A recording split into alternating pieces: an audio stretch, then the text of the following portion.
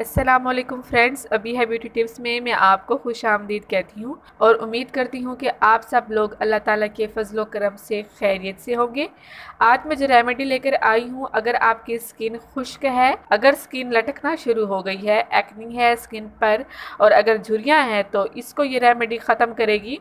ये एक बहुत अच्छा मास्क है, जो हमारे फेस की स्किन को प्रॉपर तरीके से स्मूथ स्किन बनाएगी। मैं इस रेमेडी में जो इंग्रेडिएंट्स यूज़ कर रही हूँ, वो है एलोवेरा डिस्प्रीन हनी और विटामिन ई का कैप्सूल तो दोस्तों रेमेडी स्टार्ट करने से पहले अगर आप मेरे चैनल पर न्यू हैं तो मेरे चैनल को जल्दी से सब्सक्राइब कर दें और साथ ही लगे बेल आइकन के बटन को प्रेस कर दें ताकि मेरी नई आने वाली वीडियो का नोटिफिकेशन आप लोगों को मिलता रहे।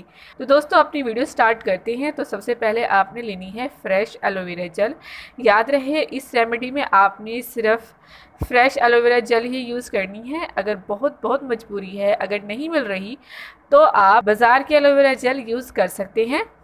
आपने एलोवेरा जेल के सिर्फ़ दो चम्मच ही निकालने हैं। इस तरीके से आप इसे काट लें और इसमें से इसका गुदा सिर्फ़ दो चम्मच निकाल लें।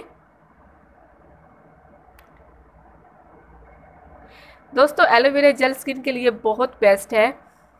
ये हमारी स्किन में शाइन लाती है और जो हमारी स्किन में रैशेज़ वगैरह हो जाती हैं रेडनेस हो जाती है, उसको दूर करती है, ख़ास तौर पर गर्मियों में। इसमें से मैंने दो चम्मच एलोवेरा जेल निकाल ली है। अब इसमें दो टैबलेट डिस्प्रिन के ऐड करनी है। आपने दो टैबलेट इसमें ऐड करनी है। दो टैबलेट ऐड करने के बाद इसको चम्मच की मदद से इस तरह से पीस लें। और इसके बाद इसको अच्छी तरीके से मिक्स कर लें।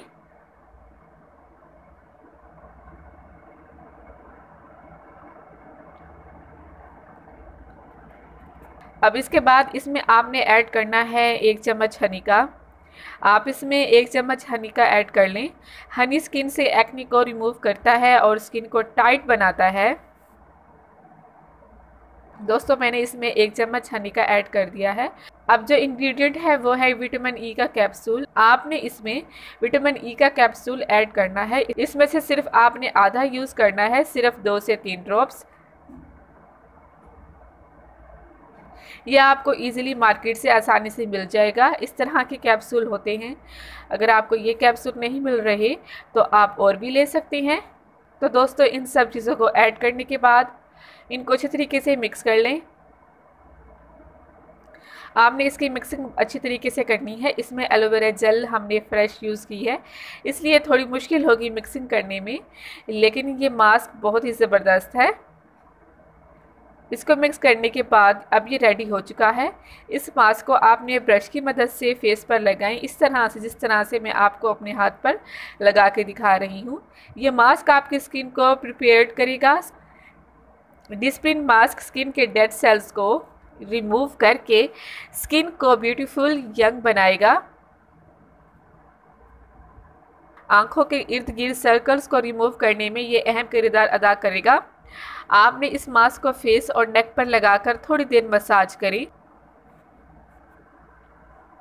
फिर इसको 10 मिनट लगाकर छोड़ दें। फिर जो बचा हुआ मास्क है, इसको दोबारा फेस गर्दन पर लगाकर फिर से छोड़ दें। जब 10 मिनट गुजर जाएँ तो फ्रेश पानी से फेस वॉश कर लें। स्किन को अच्छी तरह ड्राई करके जो बचा हुआ विटामिन ई का कैप्सूल है, इसको आपने इस तरह से निकाल कर अपनी स्किन पर अच्छे तरीके से मसाज करना है। इससे आपकी स्किन ड्राई नहीं होगी और रेडनेस तो बिल्कुल भी नहीं आएगी। इस रेमेडी को आपने हफ़्ते में तीन दिन लाजमी यूज़ करना है।